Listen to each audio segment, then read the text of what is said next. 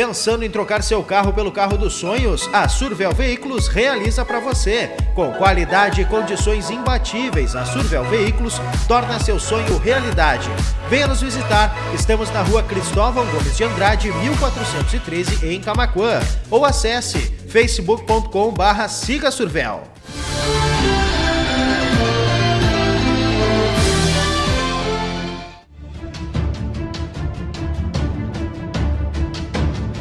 Desempregado há quatro meses, o locutor Rubens está vivendo de bico, mora em uma igreja e se alimenta no Serviço Franciscano de Solidariedade. O serviço aqui prestado pelos franciscanos é um serviço bastante interessante.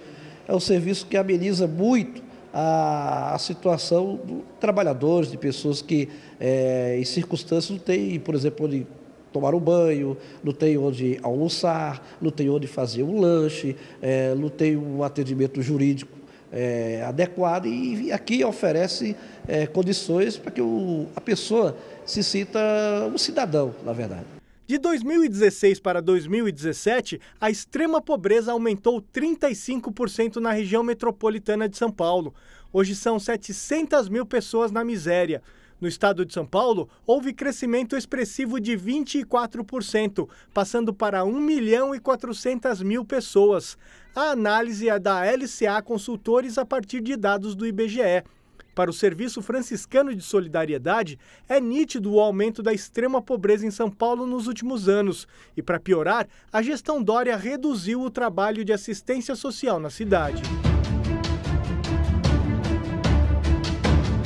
Duas pessoas ficaram feridas, uma delas em estado grave, em um ataque a tiros contra o acampamento em apoio ao ex-presidente Luiz Inácio Lula da Silva, montado nos arredores da sede da Polícia Federal em Curitiba, onde o petista está preso. Em um vídeo nas redes sociais, a senadora Gleisi Hoffmann condenou o ataque deixar claro aqui, ela é resultado desse processo construído de perseguição contra o presidente Lula, contra o PT, contra os movimentos de esquerda.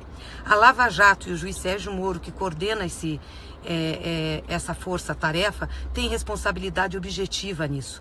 A Polícia Militar do Paraná confirmou que um homem de 39 anos foi baleado no pescoço perto da sede da Polícia Federal, mas não informou se ele é um dos militantes que apoiam o ex-presidente.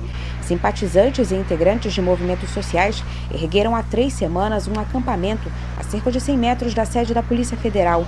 Eles afirmam que vão continuar no local até Lula ser libertado.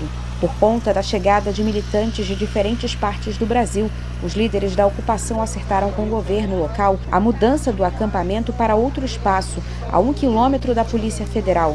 Por outro lado, a Justiça proibiu qualquer tipo de acampamento perto da sede da polícia, estabelecendo uma multa diária de 500 mil reais em caso de descumprimento da determinação. Apesar da decisão, ainda permanecem no local algumas tendas, usadas para coordenar a comunicação, a assistência médica e receber novas caravanas e doações, segundo o PT.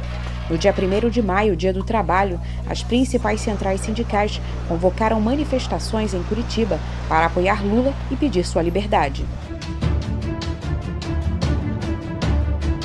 A nova lei que altera o Estatuto da Criança e do Adolescente amplia direitos para menores vítimas ou testemunhas de violência durante o processo judicial. Entre as principais medidas está a escuta especializada ou depoimento especial, gravado em áudio e vídeo em um ambiente acolhedor para a criança. Essa escuta especializada deve funcionar através de um profissional, que pode ser da psicologia, assistente social ou de outras áreas de humanas. Essa pessoa vai estar numa sala, num espaço lúdico, onde a criança vai ter acesso a bonecas, por exemplo, lápis, papel, e ela poderá é, mostrar de que forma que ela foi abusada ou sofreu violência física através dos desenhos, através dos gestos, através das bonecas. Essas e outras notícias você confere no nosso site www.lagoatv.com.